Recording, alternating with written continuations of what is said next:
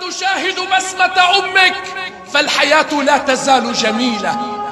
ما دمت تملك أما تراها كل صباح ومساء فلا يحق لك أبدا أن تتحدث عن الكآبة والحزن.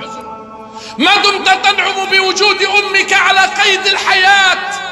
تسأل عنك كل يوم فأنت ملك من ملوك الأرض. فالزم رجلها فثم الجنة. اذهب إليها.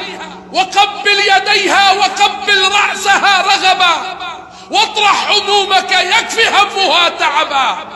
ماذا تنتظر كي تزورها؟ رحيلها والله لتندم فقد رأيت من يبكي فوق قبر أمه بكاء شديدا مرا عظيما. يخاطبها يناشدها يستصرخها. اشتقت لك أماه أخرجي أحدثك ولو لدقيقة ولكن هيهات. اشتاق النبي صلى الله عليه وسلم لأمه. فطلب من الله أن يستغفر لها فأبى. ثم طلب من الله أن يزور قبرها فأذن له. قال أنس كنت ممن رافقته. فجث عند قبر أمه وبكى وبكى حتى بل لحيته. ثم بل بكى وبكى حتى بل صدره.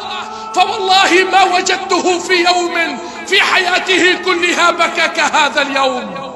إنه الشوق والحنان. فالوطن الحقيقي حيث تكون الأم. هي مدرسة إذا جهلت. هي مأوى إذا تشردت هي مطعم إذا جعت. هي مستشفى إذا مرضت. هي حفلة إذا فرحت. هي منبه إذا نمت. هي دعوات سماوية إذا غبت. فأخي هل لها بررت؟ وإليها أحسنت وبها أشفقت وأرفقت.